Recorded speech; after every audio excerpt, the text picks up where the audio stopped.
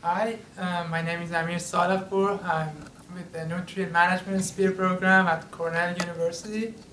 And today my presentation is nitrous oxide emission in nitrogen versus phosphorus-based uh, management of corn. Well, dairy farmers uh, often apply manure based on the nitrogen needs of the crop.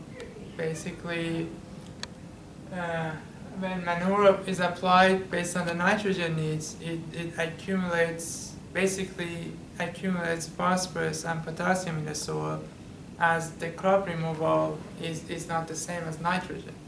So over a long term, you're, you're, you're ending, ending with the uh, phosphorus runoff risks and high K forages risks. One, one uh, possible alternative is to, to avoid this P and K accumulation is to shift from N-based manure management to P-based manure management with immediate incorporation to conserve nitrogen from basically reducing ammonia losses and provide that for the crop nitrogen uptake. So basically here uh, we are thinking okay, how this management and shift from N-base to P-base can impact corn grain yield and how, how it will impact soil nitrous oxide emissions. So we conducted a field experiment. Basically, this study first initiated in 2001 in Musgrave Research Farm in, in Aurora, New York. And this year's results are basically the results of the 14th year of the study, and we are now in the 15th year of the study, which I'm not presenting any results from. So the experimental design is a randomized complete, complete block design with, with uh, five replications. We had two rates of uh, dairy solids, uh, two, which are 15 and 40 tons per acre. We had two rates of uh, liquid dairy manure, which are 10,000 gallons and 17,000 gallons per acre. The lower rates represent the P-based management and higher rates represent the uh, N-based management. And we had two, uh, we basically had uh, six inorganic citrus rates, which, of which we chose 0 and 100 pounds N per acre uh, based on based on the Meron curve and calculations. Uh. That 101 is, is the recommended nitrogen rate in our study. We use a closed chamber method, as you can see in figure 2a. And we basically sampled at four times. Each, each time that we went, we had a 0, 15, 30, and 45 minutes intervals. And at each round that we, we went to take gas samples, we monitored the, so, uh, the soil moisture and soil temperature. And overall, we, we collected 34 gas sampling rounds for emissions uh, from April to October. The, we use a GC to analyze nitrous oxide, carbon dioxide, and methane emissions. And basically we calculated nitrous oxide fluxes by based on a, based on linear regressions between uh, time and emitted nitrous oxide. If you looking, if you're going to look at the results uh, in Figure three, you can see a trend trend of nitrous oxide emission during the growing season.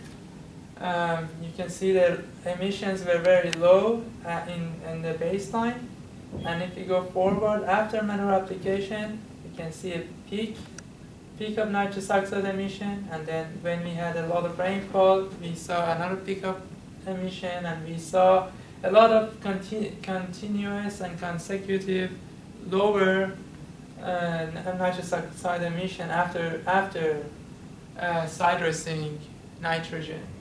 And at the end of the season, again, we saw basically very low or no nitrous oxide emissions. So basically, the peak that, that basically we observed in July was, was due to major rainfall events. Basically, rainfall uh, provides uh, anaerobic conditions, and where nitrate is available is, is a perfect combination for a basically uh, denitrification, which is the main, major pathway for nitrous oxide emission. Uh, in, in, in figure 4, I'm going to focus and zoom in these these basically three uh, sections and then we'll look at the treatment differences there. If you look at the figure 4, uh, A, it's, it's the nitrous, nitrous oxide emission at 10 days after manure application interval. And you can, you can see that the, the, within sources there are no differences, but, but the trend is toward toward a nitrogen-based management having higher emissions than, than phosphorus-based. So if you go, if you look at the basically treatments differences at major rainfall events here, at uh, figure 4C, B, uh, you can see that uh, lower emission in compost compared with manure, with very with low emissions in inorganic end treatments, there were no differences between P-based manure and N-based manure. And basically, if, if, if I had a, a nitrate trends, I could show you that the nitrate in the soil in P-based manure was, was high. Uh, and basically that, that was the reason that with, with rainfall, uh, it, it basically emitted nitrous oxide emission almost the same as N-based management, which could be the which could be uh, basically due to uh, reducing ammonia volatilization that we, we were shooting for by tillage incorporation.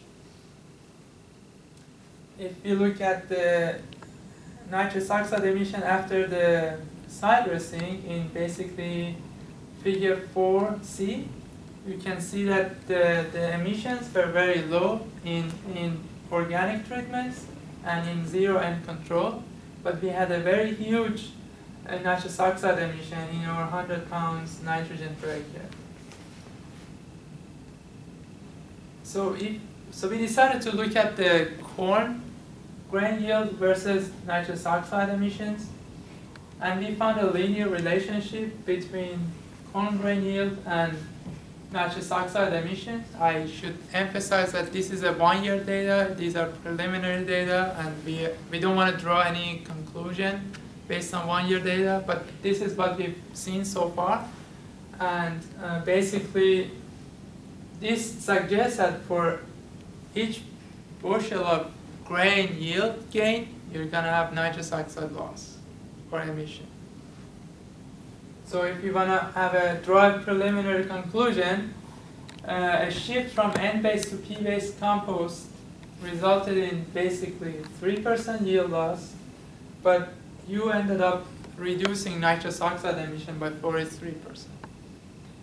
Shifting from N-based to P-based manure resulted in 4 to 5% yield loss, but you end up saving, uh, reducing nitrous oxide emission by 29% and and basically yield loss from 100 pounds to zero was, was very huge. So basically, obviously, no farmers would like to do that, or or is uh, we want the farm uh, the farming system to be profitable. So it's not an option at all.